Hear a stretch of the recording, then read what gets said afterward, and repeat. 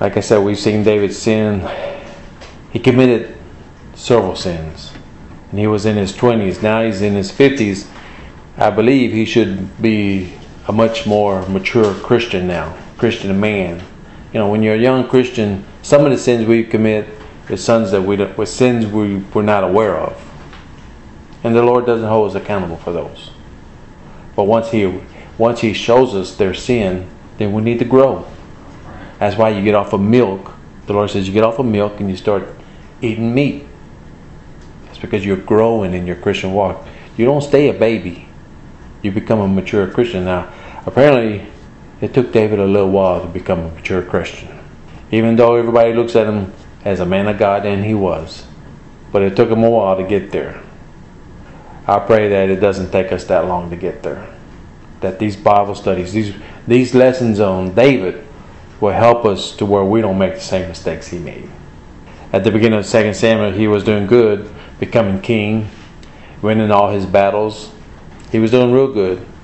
David, as we see, repented of many of his sins that he committed. Like, like we saw, he was up and down. He was down, he'd repent. His life was a roller coaster. But now he's he's uh, he's at the bottom. What I I don't how can I say this? Rock bottom. I mean, he's murdered. He's committed adultery. I mean, he is. I don't even think wicked people get that wicked. I mean, you got wicked people. At least don't kill anybody. But David has killed a man. He's a murderer, and he's. We're gonna find that he's getting back with the Lord. But David had a weakness, and he has a weakness, a weakness that a lot of men have, and that's women he has a weakness, and that's what it is. We're going to see to we're going to see that sins can be forgiven, and it doesn't have a long lasting effect. Some sins, but some sins like this, we pay for, and we're gonna we're gonna see here that these sins David has committed, he's gonna pay for them the rest of his life. We're gonna learn that up ahead. And now there's a sins that just affect you we have, like, I'm not going to pick a sin out, but there's sins, we commit a sin and it only affects us. But there's sins that we can do and it affects other people. And David definitely was doing that here. And there's other ways that, that, that it can be done also, where our sins affect other people. The Lord has patience with us. But when we keep on sinning the same sin, the Lord finally has to chastise us. He forgives us, He forgives us, He forgives us, but when we keep asking for the same forgiveness, it's like, okay, you've been asking for forgiveness, I give them to you, but why you keep doing the same thing over and over? So sooner or later, the Lord has to chastise us. David could have been stoned to death for committing adultery. That's what the Bible says. Or he could have been killed by Uriah. Uriah could have made it through that battle that David sent him in, come back, find out his wife is pregnant. Surely it's going to get back to him. It was David's. So it could have happened that way, but it didn't. Because David was getting up in age, he was still a mighty warrior. But Uriah was a lot younger. He could have taken David. But like I said, that didn't happen. There's things that we look at like I just did. God's ways are not our ways. His thoughts are not our thoughts. You know, I would think something like this would happen, but God had something else for David. And we're going to start in 2 Sam, Samuel chapter 12, verse 1.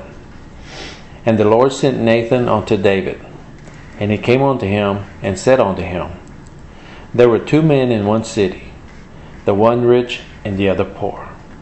David is not the one who went to the Father to ask for forgiveness, but the Lord came to him. Right here it says, the Lord sent Nathan to David. Now, David at this time has not repented yet. The Lord came to David to show him his sin. A lot of times we know our sin and we ask for forgiveness. Okay, but then some of us are, we are so far away from the Lord, we don't want to recognize it. So the Lord's like, okay, I'm going to send a man of God to tell you what you're doing, to show you what you're doing. In verse 2 The rich man had exceeding many flocks and herds, but the poor man had nothing except one little lamb which he had brought and nourished up, and it grew up together with him and with his children. And he did of and he did eat of his own meat and drank of his own cup, and laid his bosom, and was unto him as a daughter. And there came a traveler unto the rich man, and he spared and he spared to take his own flock and his own herd, to dress for the wayfaring man that was come unto him. But took the poor man's lamb, and dressed it for the man that was come to him. And David's anger was greatly kindled against the man, and he said to Nathan, As the Lord liveth, the man that hath done this thing shall surely die. And he shall restore the lamb fourfold because he did this thing, and because he had no pity. Like I said, David was blind to the things he was doing. But Nathan right here was sent by God to show him.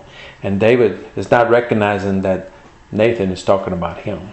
Right. And he's saying, This man surely ought to die. It's been this way since the beginning of Adam and Eve. Eve blamed the devil for her sin. Adam blamed Eve for his sin.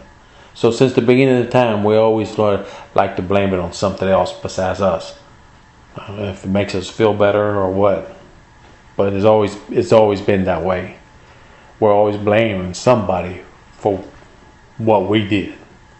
And as I said before, a hundred times before, we sure can't say, well, the devil made me do it. We know that the devil can't make us do anything. If we let if we allow the devil to tempt us and we fall to it, it's because we have allowed him to do it. We have allowed him to bring the temptation and we have just freely fell into it. But we're always looking to put the blame somewhere else, just like here. We don't want to stand up to our sins. Let me say this until we see that we're just like David, and we are, this is just a Bible story. It's just going to be a story. But we're we're like David. We might have killed somebody physically, but have you told somebody with words something that you shouldn't have said? Because words from from from a person to another person a lot of times can hurt. Can hurt quite a bit, and that's a way of of killing someone. So think about it. You know, okay, David, man, David done this, he done that, but have we done the same thing? Men, lust. Oh, we didn't commit adultery, but we did with our eyes. Because we learned last week, we're supposed to have a covenant with our eyes and tell our eyes, don't look. So, us men, lust, women, you do the same thing. Not as much as men. Men are known for that. We as Christians need to stay away from it. But women, you're the same way. So, David committed adultery. We commit adultery with our eyes, the Lord says. The Lord says if you just look upon a woman to lust after her, you've committed adultery. So we're looking at David, I'm pointing at David, but really we need to point at ourselves. That's how bad I'm looking at David. But then I'm like, well, you know what? I've done just about the same thing. So that's why I'm saying. Until we see us in David, this is just a story, a Bible story. But if you put yourself in David's place, you'll find it's almost the same. And it's a sin like lust. Sin is not, it's, lust is a sin people can't see. A man can look at a woman and have his thoughts going wow. Women can't see that. You know, people can't see that. But then there's sin that people can see. This sin is just on the man. And sin, well, I'm getting ahead of myself here. But we're going to learn more about sin with David. In verse 5, it shows us what can happen when we respond in anger, because that's what David did. He said, Oh, this guy should surely die. So David responded in anger about this story that Nathan just told him. David was so mad at the man, he wanted to kill him, wanted to have him killed. This is why we should always keep our eyes on the Lord, so we can realize that we're about the same as David. David didn't keep his eyes on the, on the Lord, but we, it's so important that we walk with the Lord. It's so important that we wake up in the morning with the Lord. That's very important. We wake up with the Lord. Because if we wake up and just go on about our day without the Lord, it's not going to be good. Because the Lord says to meditate on them day and night, from the time you wake up until you go to bed. Meditate on them. Because if you're meditating on them, then you're you're walking with them. This also shows when we get angry, we say things that we're going to regret later. Because he's going to regret saying this because he's going to see, hey, he was that man. But in real life, when we tell people stuff and later on it comes back to haunt us, we regret saying it. Especially when we find out if it really hurts somebody. Because as Christians, we don't want to hurt anybody. You know, the Lord is love. We're supposed to be love. David must have calmed down a little because in verse 6 he says, he said the right judgment in the matter. Nathan loved David very much, and what he was about to do wasn't easy for him. He's putting his life on the line, in fact, to tell the king. David's the king. He's putting on his, his life on the line, telling the king. Even though he, he loved David and was close to David, he's still the king. That he was the one in the story. Telling David, You're the one in the story. In verse 7, it says, And Nathan said to David, Thou art the man. Thus saith the Lord God of Israel I anointed thee king over Israel and I delivered thee out of the hand of Saul. Nathan tells David, You are the man. Then he tells David, The Lord has anointed you to be king over Israel, and he is the one who has saved you from Saul. Telling him he didn't do all this on his own. David didn't do all this. All becoming king, God anointed him to be king. Saul, God saved him from Saul. And Nathan here is just reminding him. It's just like the Lord has to tell us Remember, I, the Lord God, have given you all these things. Everything you have, everything you have is from God. If we start taking credit and start saying, Look what I have, the Lord can take it away just as quick as He gave it to you, He can take it away. But we do that. We do that. We're thinking we're the ones why we have this or that. It's because of us.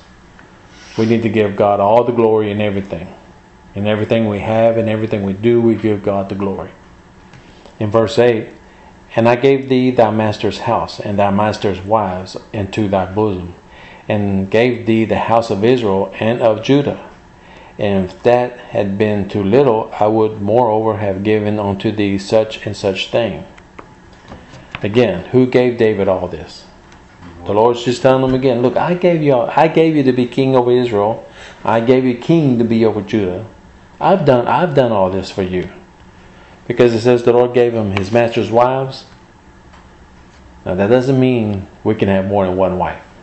Okay? He had already had them. This one of his sins, one of his new weaknesses, women. He already had it. It wasn't that God okayed him to have two wives. And we know that. If you read the scriptures, we know that. I'm not going to get on it, but I just don't want nobody to think, oh, look, God gave him two wives. No, David gave himself two wives the last part of the verse, I would moreover have given unto thee such and such a things. If it wasn't enough, there would always have other things I would have done for you. So he's telling David, if that wasn't enough, I could have gave you more. This is what happens when you're walking with the Lord. Amen. When you're walking with the Lord, and all we have to do is go to Him and say, Father, because He gives us our needs. Without a doubt, He gives us our needs. But He gives us our wants too. Not all the time, but a lot of times he does. He gives us our wants. As long as he knows it's not going to hurt us or it's not going to take us away from him. Okay, Lord, I want a boat. Okay, I'm going to let you have a boat. But now you're out fishing every Sunday.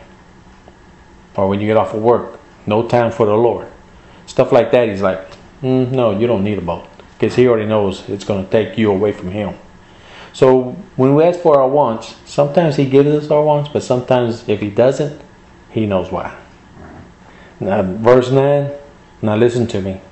If you've heard any of these teachings, any of the teachings I've done here, verse 9, listen to it.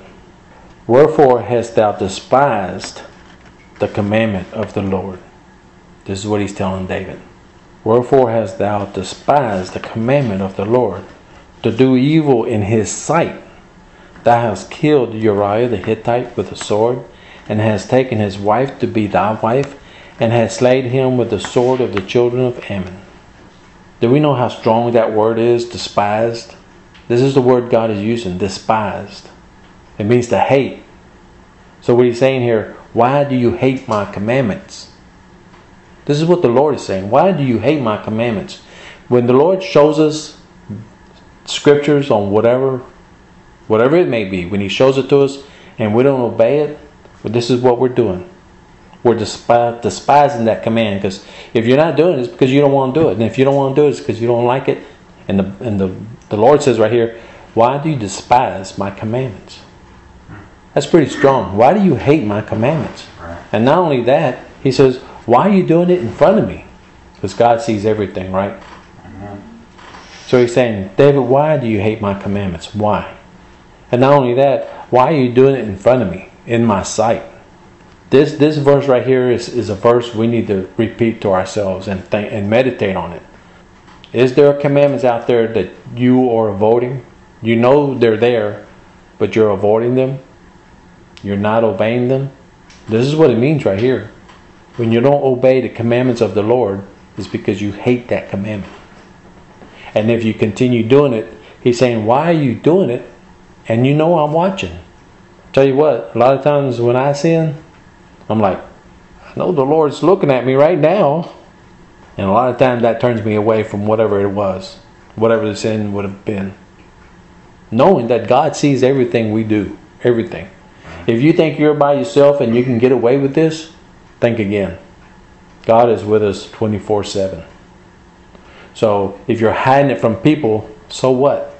They can't do nothing to you. But if you can't hide it from the Lord, that's when we ought to do something. Right.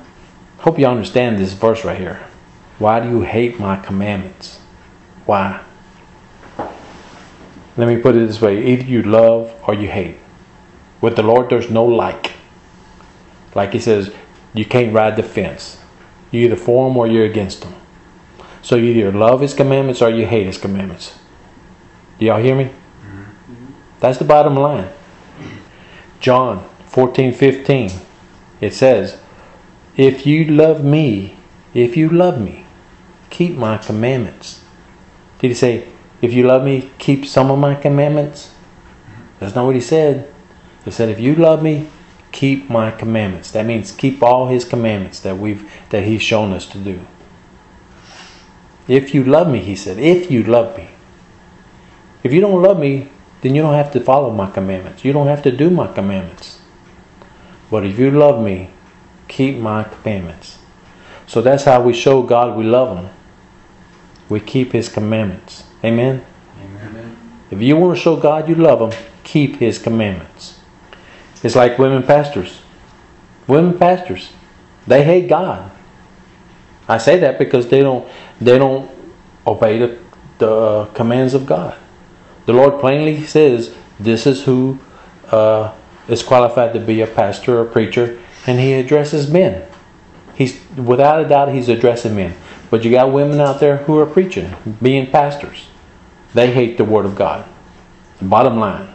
I'm not going to sugarcoat it or anything, or maybe they just didn't understand. No, they understood it and they're ignoring it. Right. And if they're ignoring that, how can you be under this woman pastor when she's ignoring and disobeying the the commandments of God? So, women preachers, who, if anybody's out there who has a woman preacher as their pastor, uh, I'd leave. I'd leave. Because women teach women. That's what women do. That's what the Lord says. Women teach women. And I could go into all kind of detail with that, but I'm not I'm not going to. You know, husbands, it's a command from God that we love our wives as as Christ loved the church. You know how Christ loved the church? How many times do we fail the Lord in your, in our own life? Because we're the church. In our own life, how many times do we fail the Lord? And He keeps forgiving us. Hmm? Husbands, do we do that with our wives? Now, some some some husbands I can say yes, but I know a lot of husbands uh, no. They don't love their wife that way. Any little thing they're ready to jump all over her. Any little thing they're like they don't want to forgive. They don't. They hold grudges. God doesn't. That's not the way God loves us. So, men, are we loving our wives as Christ loved the church? Think about it. Meditate on that. Wives, submit yourselves unto your own husbands as unto the Lord. So, wives, are you obeying? Are you obeying?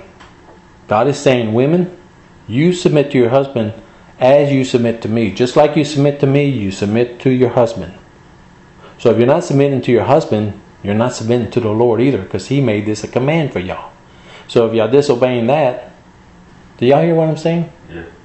The Catholics didn't like the Ten Commandments. So what they do? They changed it. They took the one that said don't bow down to statues, not to worship idols. They took that out. And they took the tenth commandment, broke it up in two so they could still have ten commandments. So not just people, but religions do it. Yeah. But we don't like that. We hate that. We hate that commandment from God. That's exactly what they're doing. This verse, I'm telling you, we need to really think about what we're doing and how we're living. Are we living to please the Lord? You know, I've committed sins, but I sure didn't change the Ten Commandments so I could do one of them. The Word of God is the Word of God. These are commandments. He's not asking, He's saying, This is a command. This is what I want you to do. No ifs, ands, or buts about it.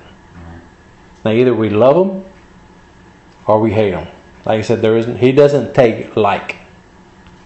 You either love the Lord or you hate the Lord. He says either you're with me or you're against me. That's what he says. So if we're having trouble here, we need to repent, get on our knees, repent, and ask the Lord's forgiveness. And the great thing about it, if it comes from your heart, God says you're forgiven. Amen. Amen. We have a good God, a good God. He says to do evil in His sight. If it doesn't bother you when you're sinning and you know the Lord sees it, if it doesn't, if that doesn't bother you, I would have to question myself: Do I love the Lord? To do evil in His sight? That's pretty hard to say. I love the Lord, but you're out here sinning right in front of Him. Now, this is one that many preachers and teachers use when they don't want to obey a verse in the Bible. They'll say, Well, that was uh, for back then. What did our God say?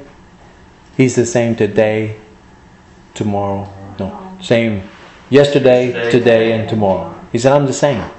But we have preachers. We'll have preachers that say, Oh, that was just for that dispensation, that was just for that time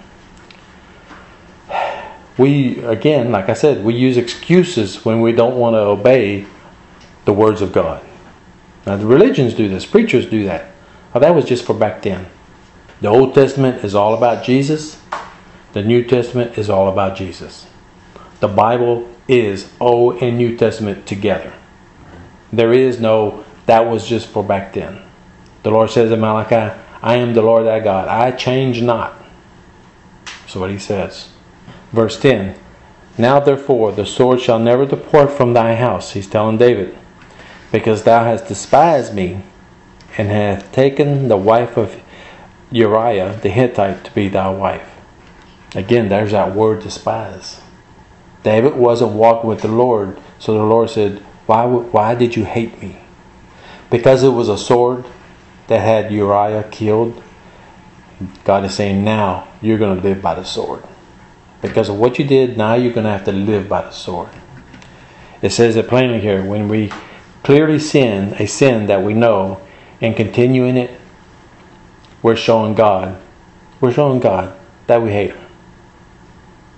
These are two verses. Uh, if y'all have heard anything on the teachings of David, please listen to these two verses. Sin is is terrible. Sin is awful, terrible, and it will destroy you. It will destroy us. That's why we need to obey the words of God. Most of most of us didn't realize a lot of times we were committing sin. But like I said, when the Lord shows it to you, now it's your choice. Do I continue or do I repent of it? Believe it or not, I do have a praise God here. And that's if if you realize it, when the when the Lord shows you and you realize it, and you ask for forgiveness, like I said a while ago, praise God. He forgives us. Amen. He doesn't want to hold it against us. If you come to Him with a true heart and say, Lord, please forgive me. Ah, God is, He says, not only am I going to forgive you, I'm going to forget about it. Amen. Amen. That's our God. That's who loves us. That's who loves us.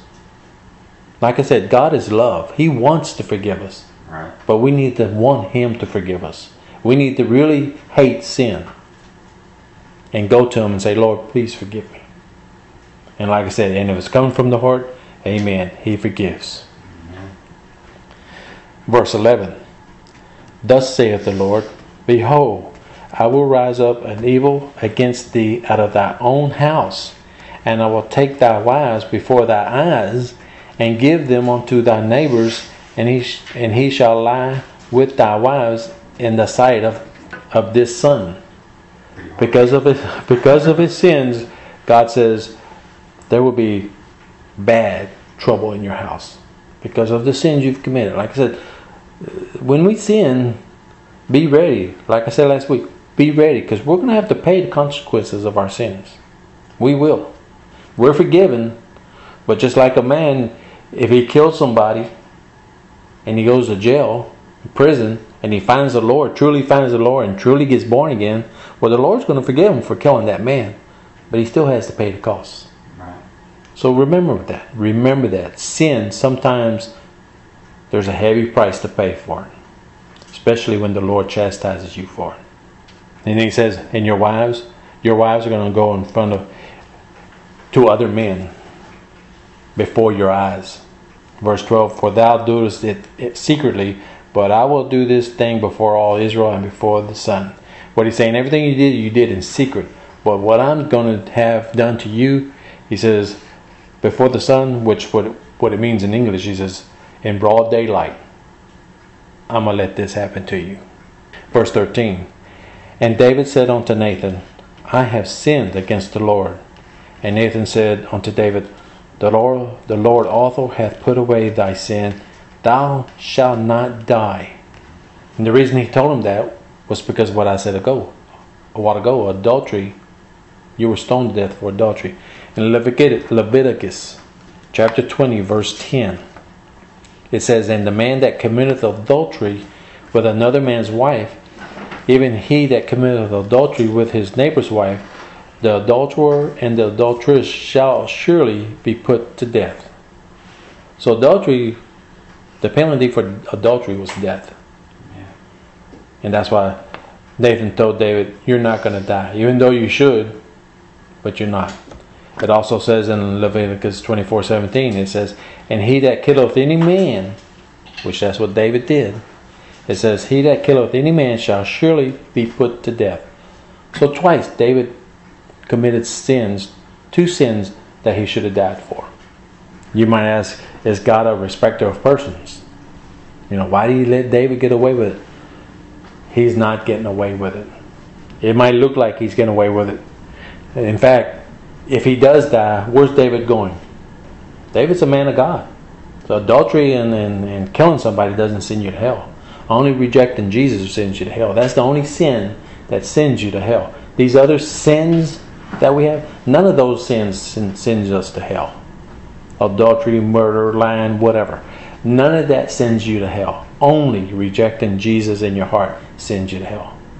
So if he would have died, if he if they, if they would have stolen him, he would have went to go be with the Lord. And the Lord says, "No, no, I'm gonna make you pay for it. This is you'd get off too easy if I'd go ahead and bring you home. You hear me? So David is not getting away with his sin. He's not.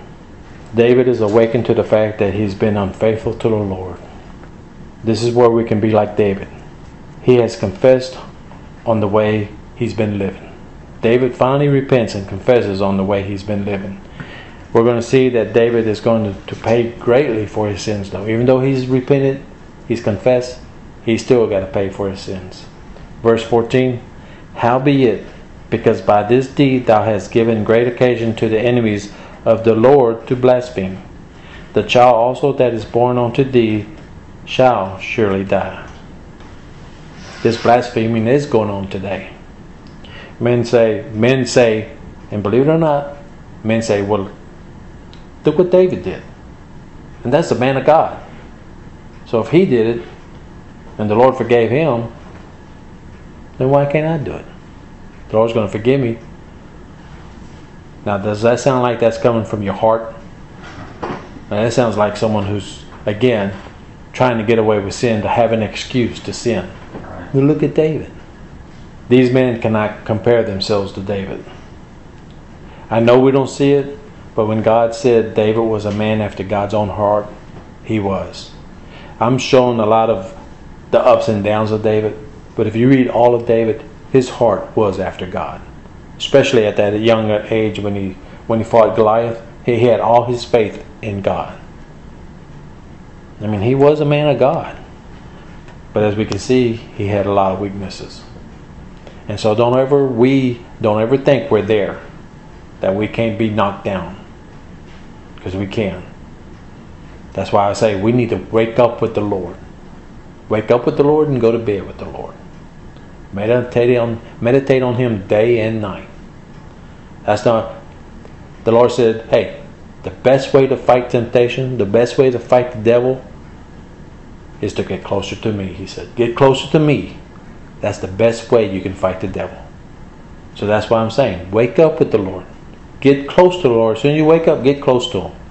Prayer, reading, whatever it, whatever it is, get close to the Lord. Because He says, if you get close to me, that's the way you fight temptation. Is by getting closer to me. Amen.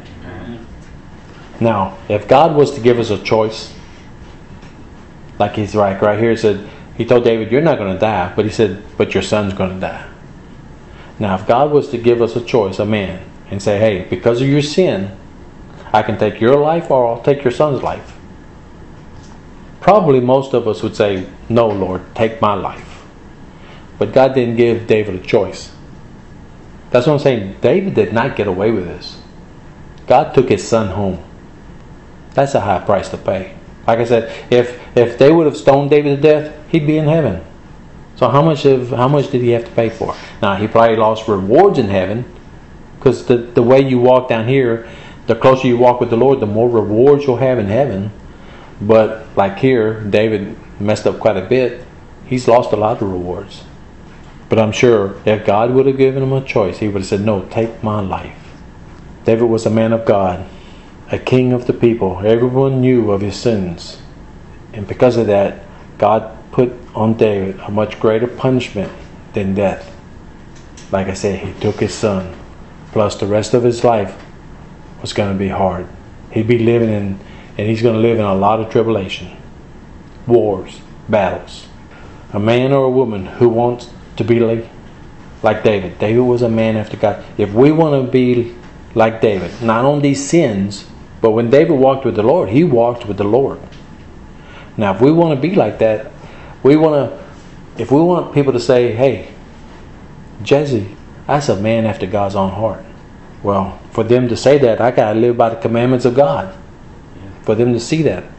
And walking with the Lord, a man after God's own heart, or a woman, when I say man, that's everybody. The Beatitudes definitely is the way to walk with God.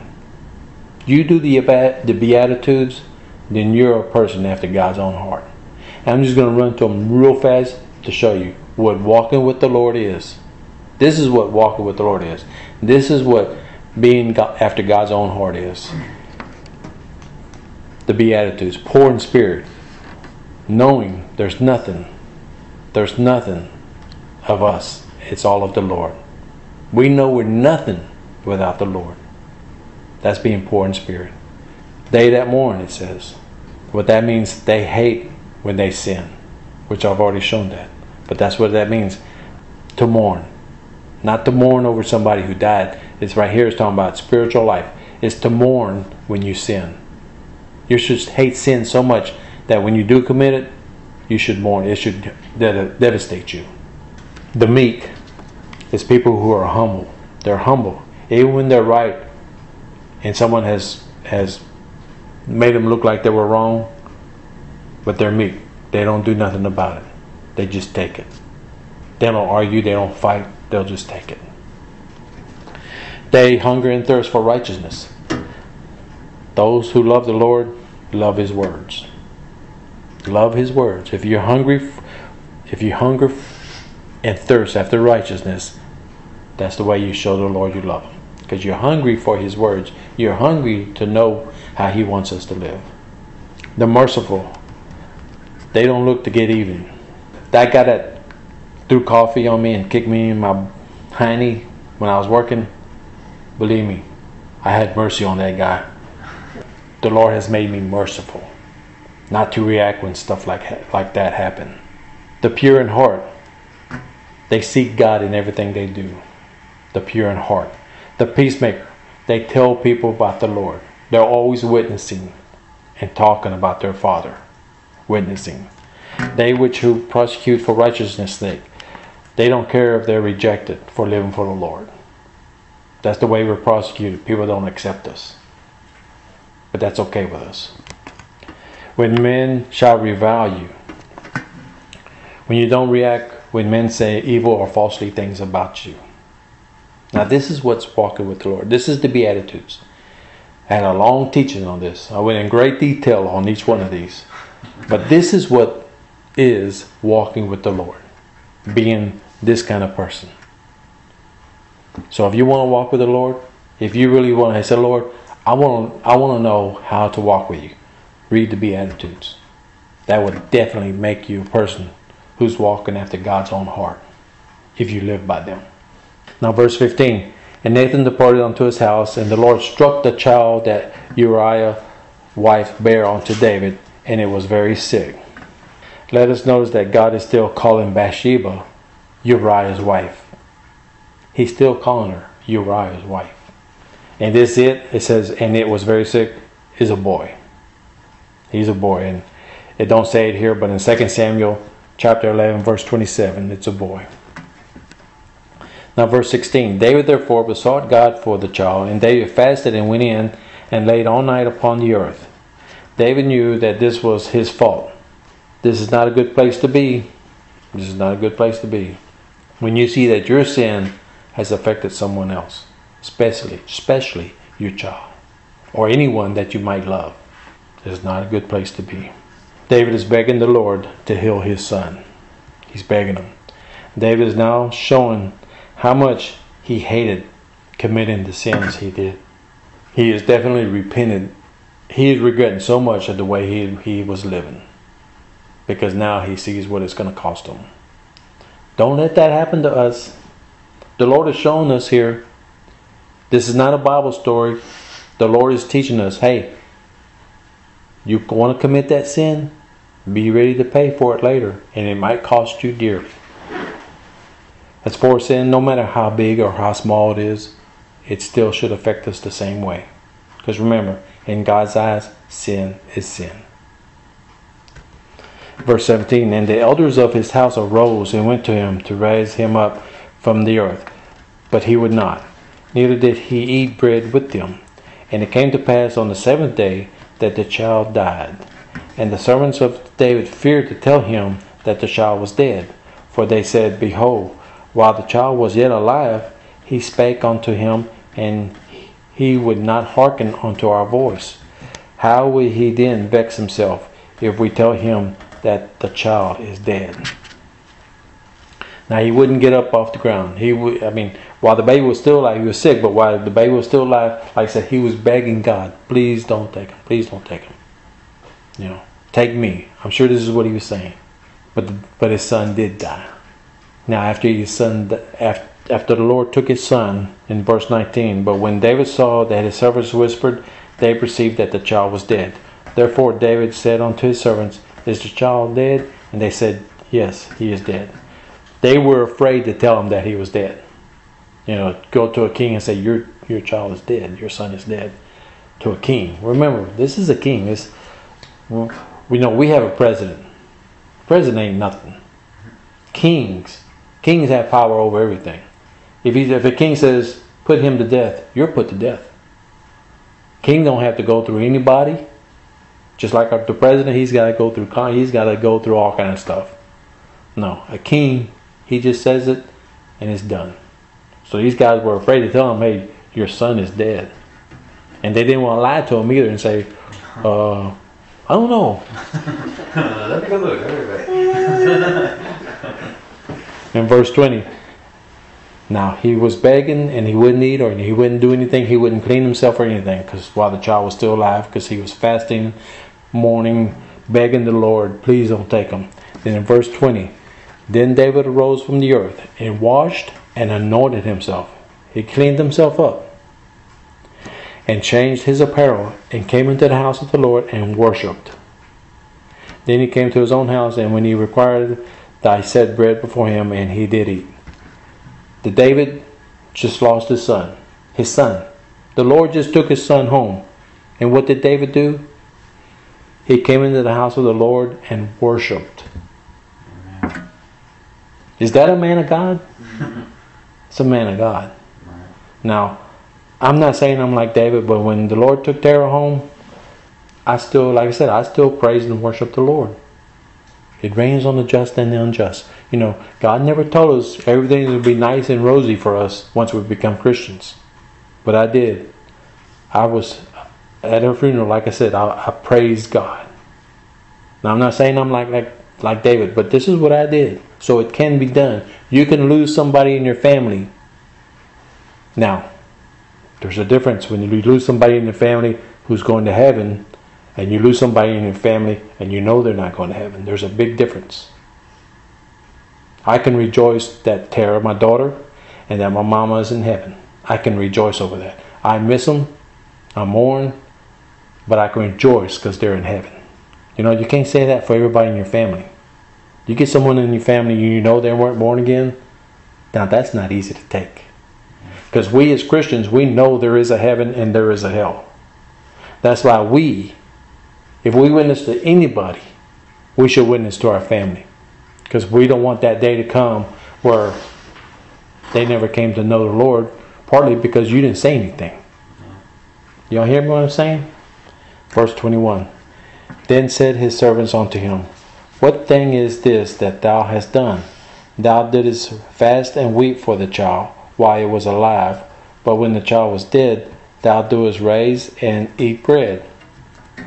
And like I said, this is the way people who know the Lord respond. This is what we do. If you don't know the Lord, either you're going to go into a depression, or you're going to become an alcoholic, or you're going to become a drug addict, or you just might go ahead and take your life. That's the way people without the Lord take it. We as Christians, we praise God. And we get up and start doing, okay, Lord, help me through this day. And He does, because that's what He did with me. I, prayed to the Lord, and said, Lord, you're going to have to totally carry me if you want me to keep going. And amen, He did. He did. I give all credit to God. I give, give I give God all credit in everything.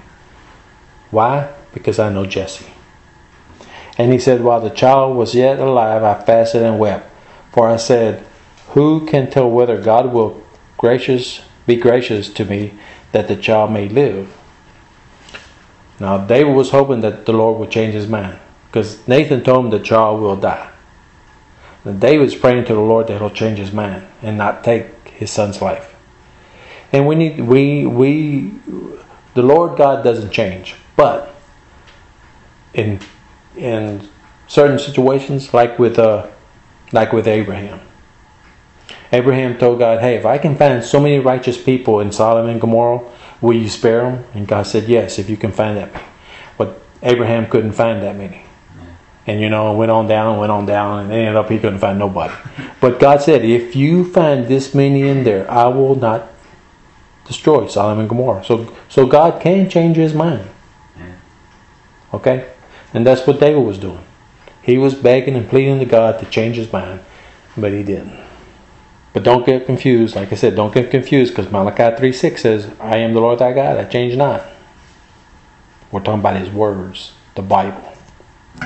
Now, verse 23 But now he is dead. Wherefore should I fast? Can I bring him back again? I shall go to him, but he shall not return to me. So this is this is a verse right here that without a doubt the Lord gave to me when Tara went to be home. This this is the verse that I hung on to like I don't know what. Because just like David, he said, David said, he can't come back to me, but I'm going to go be with him one day. That's why I say David was a Christian. So I know that one day I will see Tara again and I will see my mother again. And that's that's the word of God. And just like everything else, I obey it. I, I trust it. I believe in it. I believe in it. I have to believe in it. I would be totally destroyed if I didn't believe in the Word of God. And again, uh, he says the child's not going to come back to me. So these people who say they've gone to heaven and they come back and they tell us what heaven was like, baloney. That doesn't happen. They got a movie on it. I forgot the name of it, but a little boy went to heaven. He came back and told everybody what it was like and blah blah blah. That's a story. That's heathens who made that movie because it's not biblical. Once you make it to heaven, you don't come back. That's not God's words. When that does happen, when when mediums or whatever they sermon the dead, and if you do see somebody, a spirit, it's demonic. It's demonic. It's not from God. That's why mediums, Ouija board, all that stuff is wicked, and it's true. It, it, it can happen, but it's not from the Lord. It's either that way or or they got cameras can do anything now. Cameras can make you see things that are not there. Yeah. You know, just so, but it's not true. Please don't ever think, well, I wondered if if that was real. Just like that movie, I'm, a lot of believe a lot of people believe that movie. I can say that because at the gym they were talking about it, and I told them, I said, that's full of baloney. It can't happen. And they looked at me like I was crazy. But that's okay. People look at me like I'm crazy all the time anyway. but I told them that. And they were like, You don't think that can happen? I said, oh, I know it can't happen. It's not the Word of God, it's not in there. Once you make it to heaven, you're in heaven. There is no coming back. I don't want to come back. Yeah. And plus, if you're a really born again Christian and you're with Jesus, you ain't going to want to come back over here. And you wake up. Pull the plug. So if you hear people who do that or or or talk about it, know this: it's demonic. It's not from the Lord. People cannot come back from heaven. Mary is not out there. Jesus is not out there. People see Mary. People see Jesus. Oh yeah, no. That ain't happening.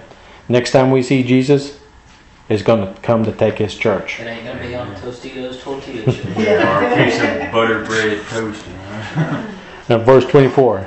And David confronted Bathsheba, his wife, and went into her, unto her and laid with her, and she bare a son, and he called his name Solomon, and the Lord loved him. Now, remember back in verse 15, it called Bathsheba Uriah's wife, but now David has repented. David's back with the Lord now. So now the Lord is saying, Your wife, Bathsheba is your wife. David has paid his for his sins and he has repented of them and has been forgiven. So now they're no longer committing adultery. Now they're now she is his wife. This is for those who get a divorce without cause. It is a sin. If you get a divorce from your spouse and it wasn't because of adultery, then it's sin because God says that's the only reason, permission to get a divorce is if one of them were unfaithful. and a lot of people are like, they act like that's the unforgivable sin. It's not. Just remember, all sin is forgivable. Yes, I, I got a divorce, but I prayed to the Lord and I said, Lord, forgive me. Forgive me for what I did. And I truly meant it. Like I said, if you truly meant it, God forgives. But there's some people who who they make it the unpardonable sin. It's not. And I would say don't look down at people who have divorced. It's just a sin just like we sin. Now after David got right with the Lord, after he got right with the Lord, now remember David's still going to have to pay for his sin. But once he got right with the Lord, he blessed him with a son, Solomon. And in 1 Kings 5 7, it talks about that he was a, a wise man, which we all know Solomon, people know Solomon as having much wisdom. So he was blessed. So David got right with the Lord, back right with the Lord again, and he blessed him with a son who had a lot of wisdom and also was a man of God. Now, the teaching on David has been eight parts.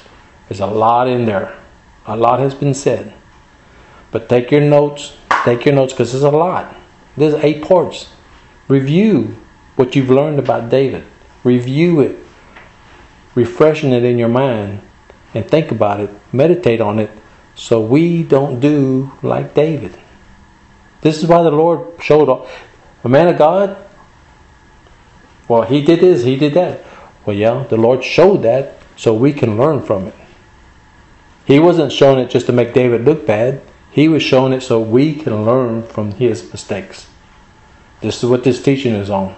That we can learn from David and grow in our walk with the Lord. Amen. Amen. Amen.